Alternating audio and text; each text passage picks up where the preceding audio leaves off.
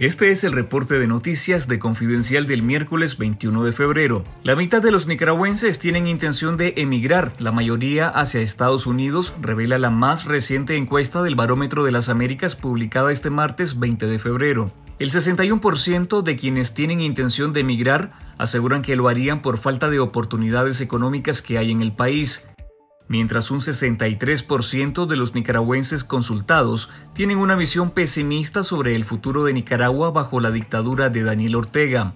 El 54% de los ciudadanos respondieron que la economía es uno de los principales problemas de preocupación el 28% mencionó la política como la segunda razón de preocupación. Esta encuesta bianual del Barómetro de las Américas fue realizada entre junio y julio de 2023 en 26 países del continente, siendo Nicaragua y Haití los únicos países latinoamericanos cuyas consultas fueron realizadas por vía telefónica a diferencia de las encuestas presenciales en el resto de países. Entre otros de sus hallazgos, destacan la percepción del 81% de los nicaragüenses que considera que en el país hay poco o nada de libertad de expresión, y la caída de la credibilidad y confianza de las instituciones públicas, como la Corte Suprema de Justicia y la Asamblea Nacional, a quienes más del 65% de los ciudadanos no confían en ellas. Por su lado, la Iglesia Católica sigue siendo la institución más confiable para los nicaragüenses con el 60%.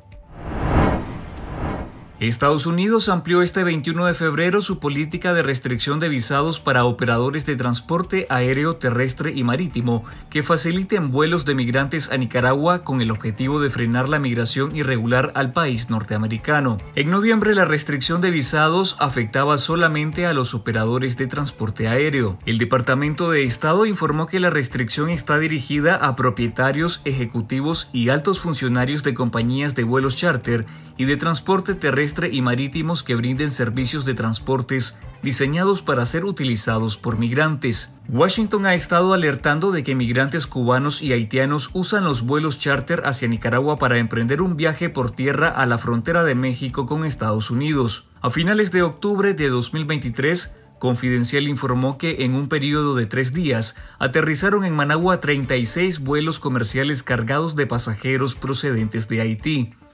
Un reportaje de Confidencial también reveló a inicios de noviembre que el régimen de Ortega también habría recibido unos 65.9 millones de dólares por las multas a migrantes que cruzan Nicaragua rumbo a Estados Unidos entre enero y octubre de 2023. Maestros y personal administrativo de la Universidad Nacional Politécnica, establecida en el recinto confiscado a la Universidad Politécnica de Nicaragua, UPOLI, denuncian que las autoridades de la nueva universidad estatal no les han dado respuesta sobre el pago de sus liquidaciones y las razones por las cuales despidieron a más de 70 trabajadores hace cuatro meses. El 11 de octubre de 2023 fueron relegados de sus cargos sin previo aviso ni justificación, según fuentes de la institución. Ante la falta de pagos y la carencia de información sobre las liquidaciones, los maestros temen que las autoridades universitarias intenten aplicarles la nueva ley para el cálculo de la indemnización por antigüedad en caso de renuncias de los trabajadores del Estado aprobada en noviembre de 2023. Esta nueva normativa, que en teoría solo aplica en casos de renuncias, tiene por objeto reducir la indemnización por antigüedad de todos los trabajadores públicos. En Confidencial Punto Digital lea las declaraciones de los maestros que reclaman el pago de sus prestaciones sociales. Nicaragua reporta 7.901 personas afectadas por neumonía en lo que va de 2024, con un promedio de 161 casos por día según un informe divulgado por el Ministerio de Salud. Según el MINSA, en los últimos siete días se registraron 1.341 casos de neumonía, lo que representa una disminución del 7% de los afectados con respecto a la semana anterior. La neumonía se ubica entre las primeras 10 causas de defunción en Nicaragua, aunque las autoridades sanitarias no se han referido a si el aumento de casos tiene que ver con un brote de COVID-19 otros países de Centroamérica como Costa Rica han registrado recientemente aumentos de casos por COVID-19. Gracias por ver este video.